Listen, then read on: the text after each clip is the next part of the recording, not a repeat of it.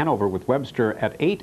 And there's the favorite, number 5, Brett the Third, 3 to 5. Campbell looking for his third winner of the night with this odds-on choice.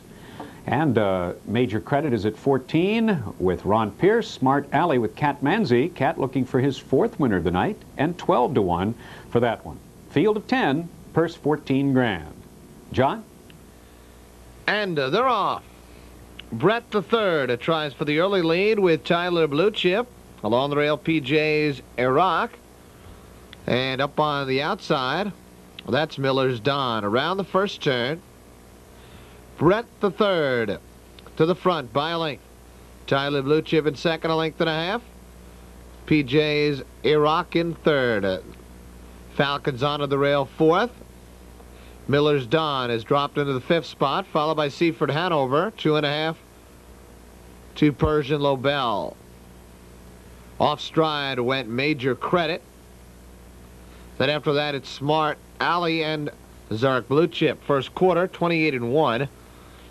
Down the back stretch, and it's Brett the third by a length. Tyler Blue Chip second, a length and a half. PJ's Iraq in third. Charging up on the outside, Seaford Hanover from fourth.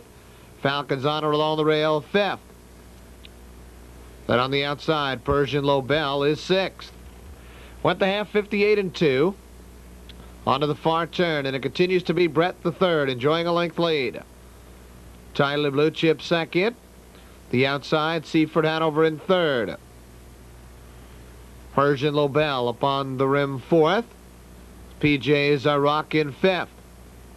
Racing in sixth, that's Smart Alley along the inside, Falcons Honor. Three quarters, 128 even as they turn for home and Brett the third leads the way by two and a half. In second, that's Tyler Blue Chip. A late move along the inside by PJ's Iraq on the far outside.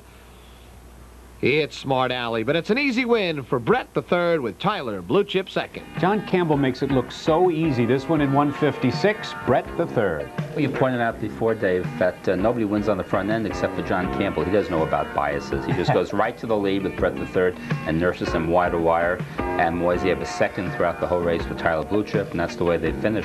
Trainer Ray Fliss says this is the best horse in his barn, but I guess he's told it the whole world because he was just murdered in the daily doubles. Three to five. Bet down to three to five and just goes wire to wire. It's absolutely no contest. Third winner of the night for JC.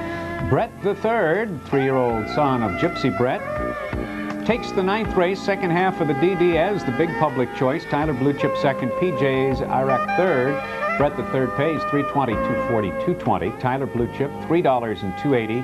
PJ's IROC pays 340. The exacta 5-3 comes back 840 and the daily double of 1-5. Musketeer in the eighth, Brett the third in the ninth. $17 even for the late DD.